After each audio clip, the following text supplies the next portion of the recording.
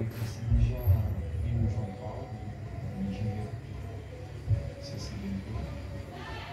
Ele estava mais ou menos uns 3 metros de altura. E eu subi nesse raste junto com, com alguns outros companheiros e a gente desceu ele, né? Entre esse raste